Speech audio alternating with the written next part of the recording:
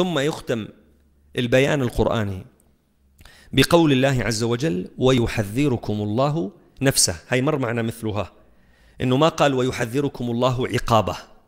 لأن تعليق العقوبة بالذات أشد من التعليق بالفعل. ويحذركم الله عقابه يعني أنت تخاف بس من عقاب الله. أما عندما يقول ويحذركم الله نفسه أي كل ما يصدر من الله فهو مخيف ينبغي أن يهزك. من الداخل. فعلق التحذير بفعله أو بذاته بذاته ويحذركم الله نفسه ثم يختم القرآن الكريم. الآية بقوله والله رؤوف بالعباد. مع أنه الإنسان شو بيقول؟ إنه المقام مقام شدة مقام تحذير. لازم يقول مثلا هيك الظاهر ويحذركم الله نفسه والله شديد العقاب. صح؟ مقام تحذير. قال ويحذركم الله نفسه والله رؤوف بالعباد. قال يريد الله أن يجمع بين الترغيب والترهيب والوعد والوعيد على عادة القرآن الكريم. وإن الله عز وجل يريد أن يقول لنا إن تحذيري لكم نابع من رحمتي بكم ومن رأفتي بكم.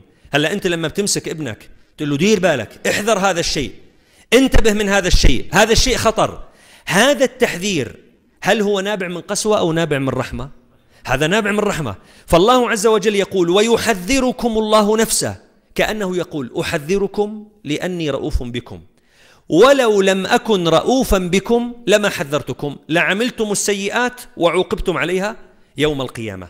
وهذا من أساليب التربية. من أساليب التربية أن يجمع الإنسان بين الترغيب وبين الترهيب. اليوم في دراسات جديدة بيقول لك الطفل ما ما بتصح تضربه. ما بصح تعبس بوشه بوجهه. ما بيصح لا. الطفل النبي صلى الله عليه وسلم قال آه، علموهم الصلاة لسبع اضربوهم عليها بعشر فرقوا بينهم بالمضاجع. كل نظام الدنيا والآخرة أيضا قائم على قضية الثواب وعلى قضية العقاب. فالله عز وجل يقول أنا أحذركم نفسي وأنا رؤوف بالعباد. وما قال رحيم؟ قال الرأفة في اللغة هي شدة الرحمة. يعني الرأفة رحمة وزيادة. شوفوا الموطن يعني كأن الله يقول وأنا شديد الرحمة بكم. شديد الرحمة مو بس أصل الرحمة. لو قال والله هلا في آيات قالت الله رؤوف رحيم جمع بين الرحمة الخاصة والعامة. هنا يقول والله رؤوف بالعباد يعني حتى الذين كفروا حتى الذين ما آمنوا حتى الذين جحدوا حقه حتى الذين أداروا الظهور له. فالله سبحانه وتعالى مو بس رحيم بهم بل الله عز وجل شديد الرحمة بهم.